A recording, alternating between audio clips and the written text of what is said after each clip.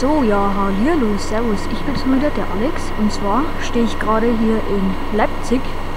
Vor mir steht hier ein Mireo der Deutschen Bahn. Der fährt in wenigen Minuten ab in Richtung Frankfurt oder. Und ich nehme euch mit, zeige euch den Bahnverkehr hier und wünsche euch viel Spaß. Falls ihr Teil 1 noch nicht gesehen habt, dann schaut da unbedingt rein. Da haben wir zum Beispiel den ER20, den Herkules und die Ex-Intrigio-Wagen gefilmt. Und in diesem Teil zeige ich euch hier den Mireo, die ICEs und die S-Bahn. So, hinter mir fährt jetzt noch ein ICET ein, sowie eine Erfurter Bahn.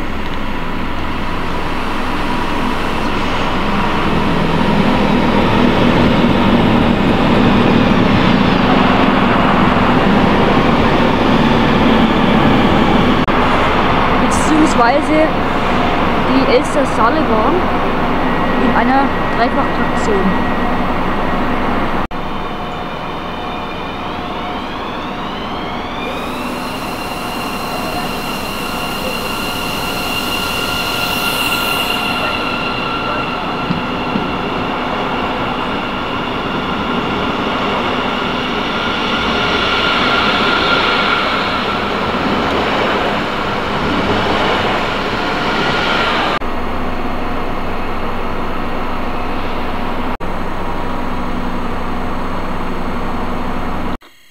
Leider ist mir dann beim Abbauen von der Kamera das Mikrofon quasi abgefallen, weshalb ich es nochmal neu einstecken musste.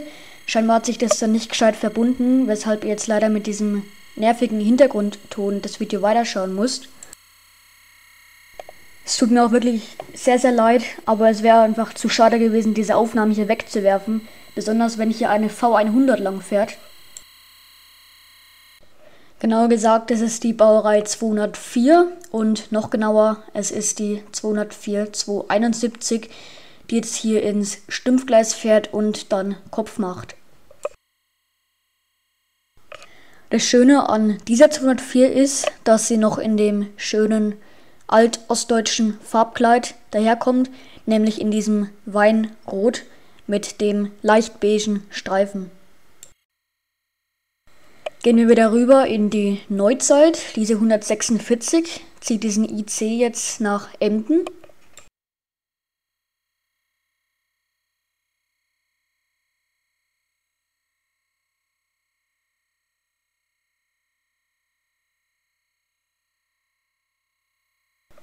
Und die V100 hat in der Zwischenzeit den Richtungsschalter umgelegt und wahrscheinlich schon den Fahrdienstleiter kontaktiert um die Weiche zu stellen und jetzt fährt sie weiter. Wie ihr sicherlich mitbekommt, ist es mittlerweile schon etwas dunkler geworden.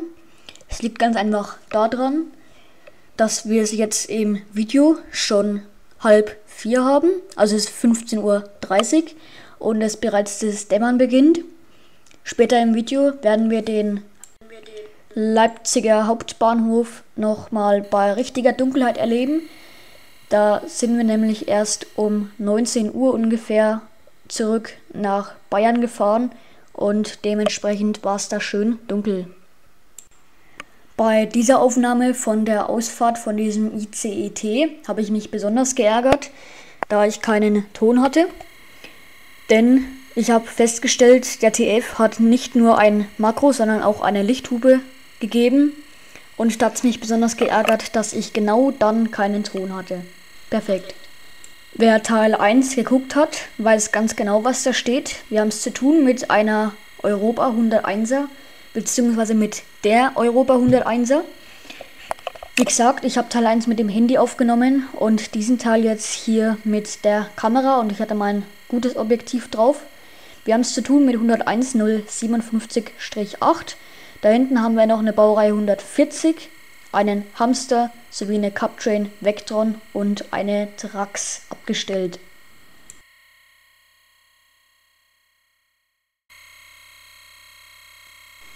Für mich persönlich war es, ich glaube, sogar eine der ersten oder die erste Werbe 101er, die ich so aufgenommen habe. Zumindest mehr oder weniger aufgerüstet. Denn sie hat ja den vorderen Pantographen gehoben. Ansonsten haben wir hinter der 101er noch eine Taurus sowie irgendeine Altbau-Lokomotive. Irgendwie haben wir jetzt bei der Aufnahme wieder den Ton. Ich weiß auch nicht, was an dem Tag mit meinem Mikrofon los war.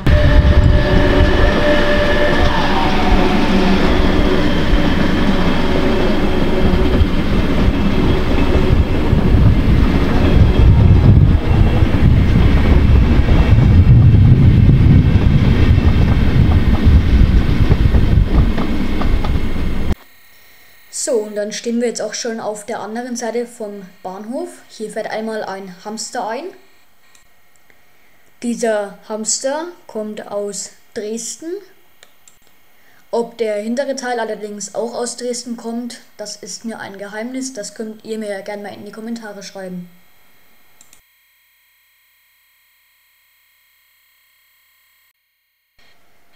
Von hier aus hat man eine ziemlich bessere Sicht auf die 101er, zumindest auf die Front. Leider fahren in meiner Region gar keine 101er mehr. Somit muss ich, wenn ich eine nächste 101er sehen will, entweder nach Erfurt oder nach Würzburg fahren. Wie man somit erkennen kann, wurden ziemlich viele IC1-Garnituren durch IC2 und ICEs ersetzt und ich denke auch nicht, dass die Deutsche Bahn den IC1 so lange noch betreiben wird. Dort drüben steht eine Baureihe 155 von Intergo sowie ein Diesel Talent 1, wahrscheinlich von der Transdev bzw. der ehemaligen BOB. Apropos Talent 1, diese MRB schlängelt sich jetzt hier durchs Gleisvorfeld und endet dann hier in Leipzig sowie fast alle Regionalzüge. Anders wie zum Beispiel die Talent 1 von den ÖBB werden diese hier mit Diesel betrieben.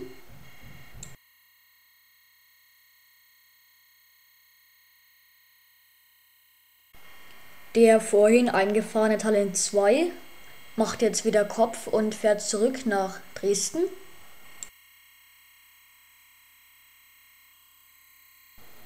Und wie man sehen kann, wird es immer dunkler und dunkler. Ein Teil 3 aus Leipzig wird auch die Tage noch online kommen. Allerdings befassen wir uns da nicht mit dem Bahnverkehr am Hauptbahnhof, beziehungsweise schon ja am Hauptbahnhof, aber nicht am oberirdischen, sondern am unterirdischen. Denn Leipzig hat logischerweise eine mehr oder weniger S-Bahn, zumindest die S-Bahn Mitteldeutschland, womit wir uns, wie gesagt, im nächsten Video befassen werden. Hier kommt noch ein Walfisch der Baureihe 641. Manche finden ihn schön, manche nicht. Ich gehöre zu ersterem, denn ich finde den gar nicht mal so schlecht. Was ich euch in Teil 1 und Teil 2 noch nicht gezeigt habe, das sind die Abstellungen da hinten. Da sind mehrere deutsche Krokodile sowie ein VT04 Hamburger Bauart. Zudem eine Baureihe 93. Und wie ihr sehen könnt, setzt sich da hinten der Wittenberger Steuerkopf und die ER20 auch in Bewegung.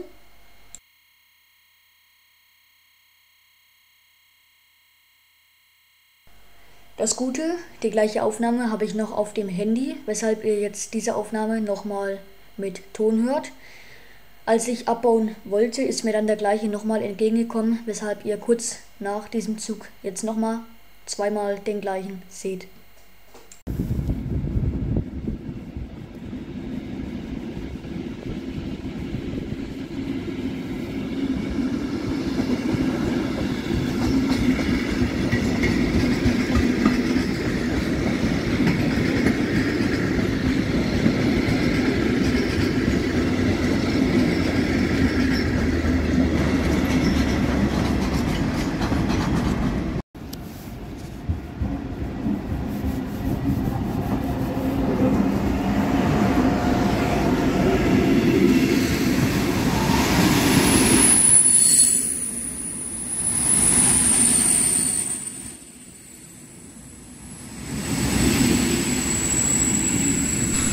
Und mit diesem Lichtgruß bedanke ich mich vielmals bei euch fürs Zusehen. Hoffe, euch hat es trotz der Tonprobleme gefallen. Und dann sehen wir uns wahrscheinlich morgen oder übermorgen bei Teil 3 bei der S-Bahn. Bis dann.